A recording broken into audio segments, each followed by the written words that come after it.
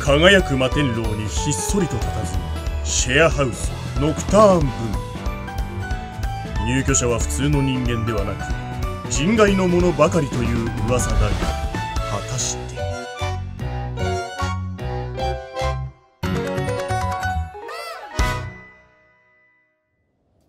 あもしもしお姉ちゃん？ごめん。今バイト終わって帰ってきたとこ。着信履歴があったけどどうしたの？え？何か変わったこと？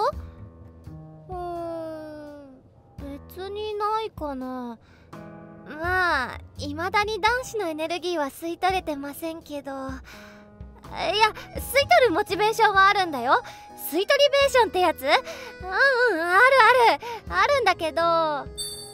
え？ちょっと待って。じゃあこのまま何もしないで stay ってこと？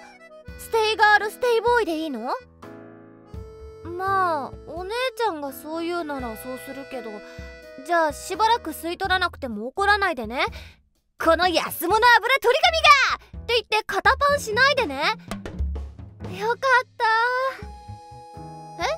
ああ大丈夫大丈夫。この時間は誰もいないから。もしこの会話が聞かれてたら私終わりじゃ一旦切ります。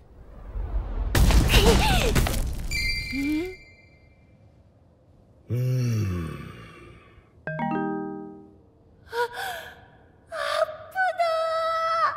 聞かれてたらどうしようかと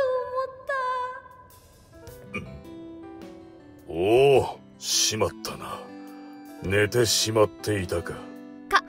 風邪ひきますよ。こんな地獄みたいなところで寝てちゃ。地獄？地獄か。え？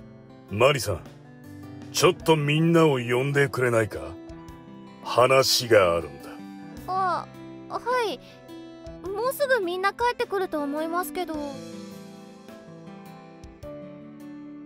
本来なら話すべきではないのかもしれないが君たちだけには話しておこうと思何改まって怖いんだけど。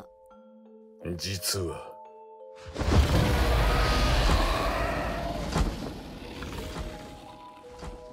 信じてくれないかもしれないがこの世界に。いややっぱりやめておこう。こんな話君たちにするべきではないんだ。えー、ちょっと気になりますよ。いやすまない。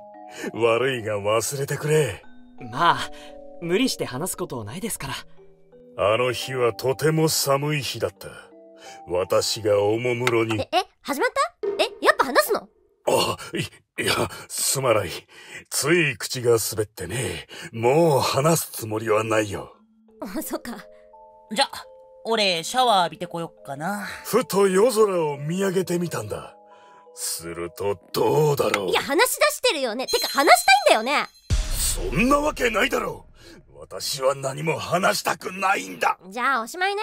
もう私らも聞かないからね。輝く星たちの光がまるで美しい宝石のようで私はうっとりと眺めていました。いや手紙読む時みたいになってる。ははあじゃないわ。なんで引き取って語り出したん？てか話す内容知ってたわけ？